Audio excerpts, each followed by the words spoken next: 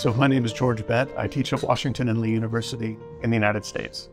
I'm an art historian who works on the art of Florence, Italy in the 14th and 15th centuries. Um, I've published uh, books and articles on painting, on manuscripts, and on the way in which viewers in the Renaissance would have seen and understood works of art in front of them. In 2017, I became interested in a mapping project that was purely two dimensional, where we wanted to pinpoint on a map and georeference the places where artworks were commissioned and produced in the 14th and 15th centuries. We wanted to see on a map the clusters of artists, patrons, subject matter, and materials that were being produced during those 200 years of the early Renaissance. As we got into the project, it became clear to us that we did not need to be limited to only a two dimensional flat surface to a map. That with new technologies and some old ones like photogrammetry, but new ones uh, like point cloud models, we could actually create or recreate structures and place inside them the artworks that used to be there but have been moved to other places. So, for example, there are many paintings and sculptures in the Accademia Museum or in the Uffizi or in the Alta Pinacoteca in Munich or the National Gallery in London or Washington or the Met in New York that came from the buildings here in Florence that we have scanned. So it's our desire to make models of those artworks and then put them into the point clouds that we have made using Leica equipment and software. And in addition to those artworks, we add to them annotations. So we describe uh, the building, we will translate descriptions from the 18th and the 19th centuries that have been written in Italian or German, and we translate those into English. Uh, we write our own original essays. We transcribe documents, and we embed all of these into the point clouds and the photogrammetric models that we've made of artworks and buildings from the Italian Renaissance. It shows us what Florence looked like before the year 1500 when these objects were still in their original sites. So creating the point clouds of the buildings that, that are still in existence in Florence becomes important for us. That's the setting in which the paintings in the Uffizi, the Accademia, they need to be seen. I'll give an example.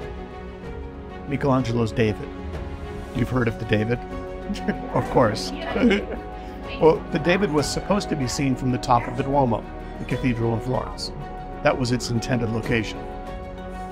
No one has ever seen it, though, on top of the Duomo. They've never put it up there. But we can do that. So that's what we're going to do today. We're going to capture the roof from one of the two bell towers of San Lorenzo looking down on top of the roof from above. Are you ready? Very Good.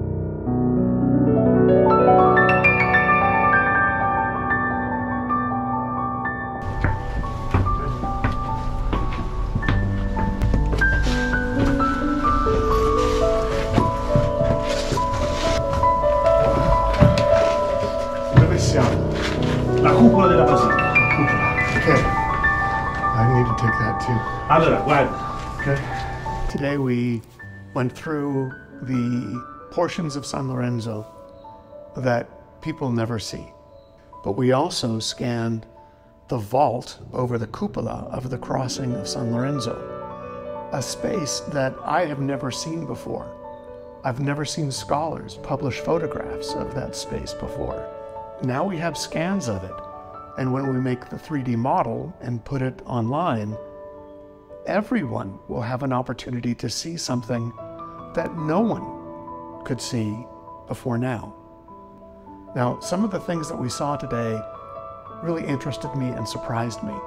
We've always thought that Brunelleschi was the architect behind the design of this building, and I can understand why. The proportions of the space, the measurements all say that it's Brunelleschi. But when we went up to the top and we looked at the brickwork, we noticed that the construction of the bricks were all laid horizontally. And Brunelleschi when he was thinking about construction, often liked to use a herringbone quality of horizontal bricks and vertical bricks that gives the structure an internal support. And we didn't see that today. So that makes me wonder about the construction team and the designs they were using as they were building that cupola and the vault over the church. We think that these scans and this model will be used not only by the general public and by students, we're quite sure now that scholars will be using this model for years to come because it shows the entirety of the building. With, with these measurements and with these models, you can, you can make dimensional plans out of these buildings. You can understand the measurements and the dimensions of any space that you want. And it's something that architectural historians just don't have an opportunity to do on a normal basis. And now everyone will be able to do it from home. This model will provide uh, subject matter for future conversations between scholars as they debate the authorship of, of the space. Yeah.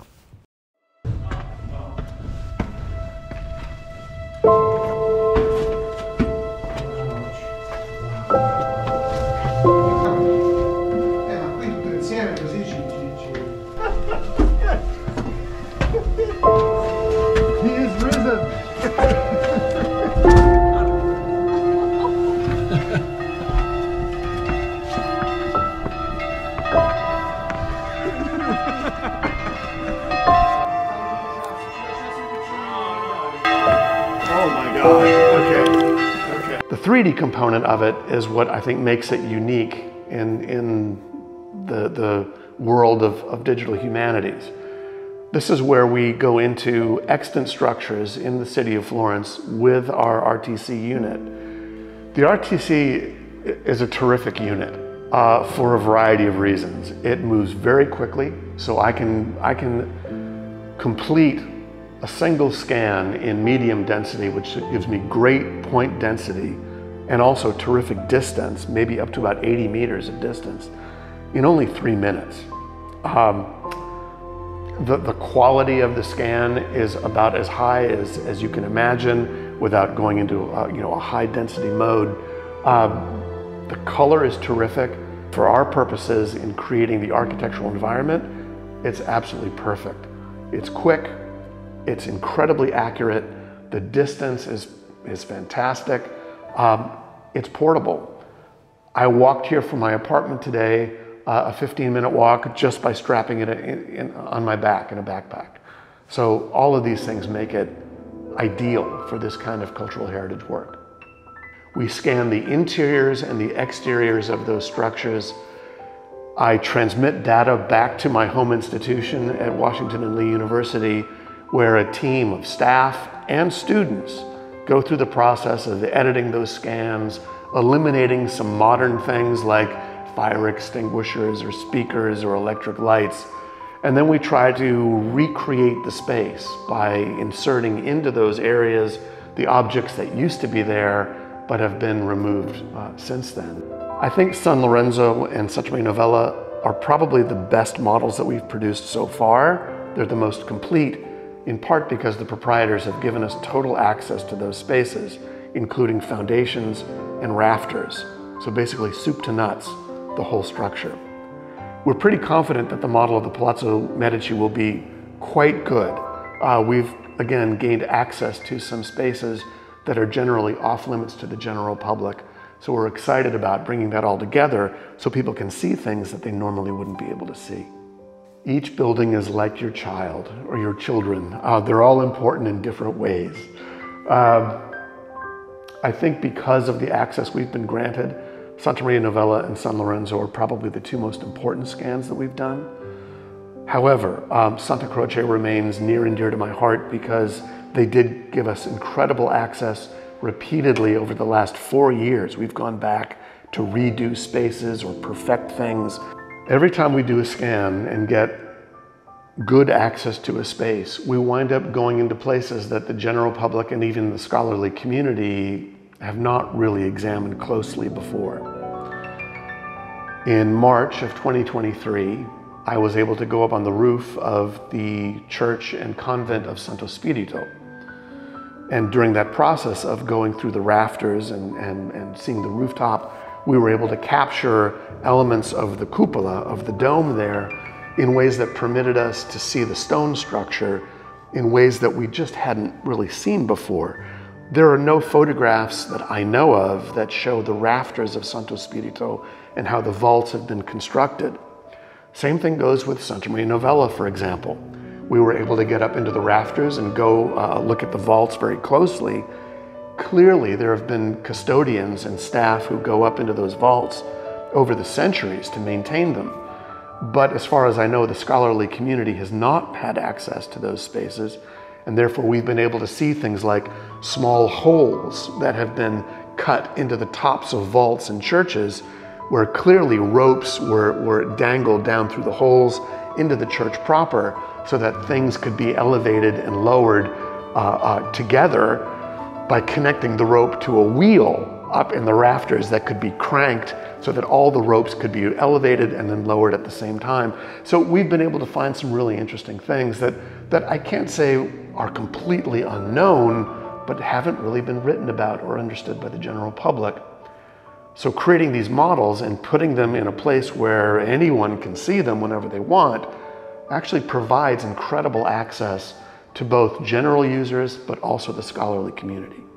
We're standing right now in the Palazzo Medici. This is a mid 15th century palace that was constructed with designs by an architect named Michelozzo.